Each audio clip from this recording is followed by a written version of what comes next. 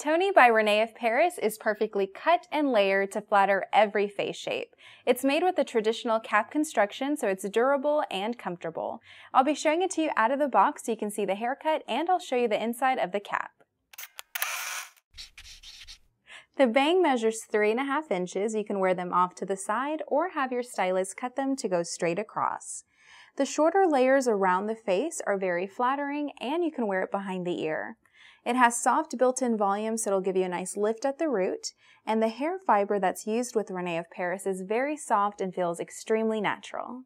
The color shown here is Copper Glaze. The base is a medium copper red, and it has golden blonde highlights all over.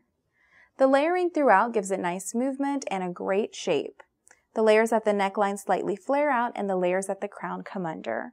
Then the layers at the neckline measure 4.75 inches and at the crown it's 8.8. You can have the layers around the face trimmed and blended in with the rest of the cut.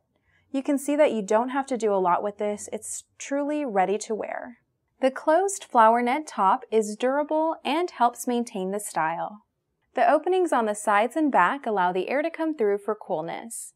You can adjust the cap size up to half an inch with the pull adjustable straps. The ear tabs do bend, so make sure that they're not pointing away from the face. You want them to lay smooth and flat so that it conceals your own hair and hairline. Everything on Toni makes it flattering and comfortable. I recommend using synthetic safe products to keep all of your wigs looking their best and to prolong the life of the fiber.